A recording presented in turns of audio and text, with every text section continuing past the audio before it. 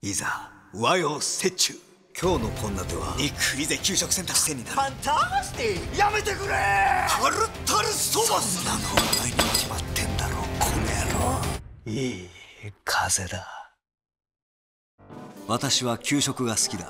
給食を食べるために学校に来てると言っても過言ではない。人は食わないと死ぬ。給食とは食事だ。